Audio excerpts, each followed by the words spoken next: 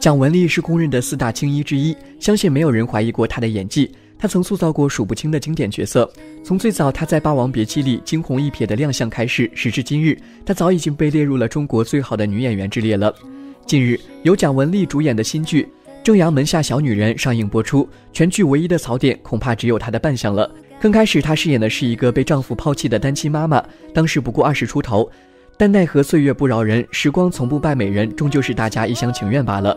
所以四十九岁的蒋老师虽然保养得意，客观的说早已经过了颜值巅峰，诠释起来还是有相当大的难度的。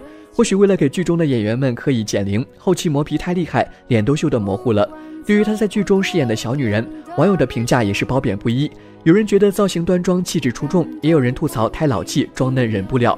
不得不说，娱乐圈对于女星真的很不公平。当同龄的吴秀波、张嘉译可以靠大叔形象不断圈粉时，而女明星们的中年危机却是带着一种和人斗、和己斗、和地心引力斗的悲壮。三十五岁一过，面临身后不断涌来的小花，他们的演艺之路似乎陡然变窄，或急流勇退，或沉寂蛰伏。或许有的人扮嫩强撑，而有的人就只能演演小花们的妈妈、婆婆，甚至是隔壁的坏阿姨。只能说，在中国，美人白头远远比英雄迟暮可怕。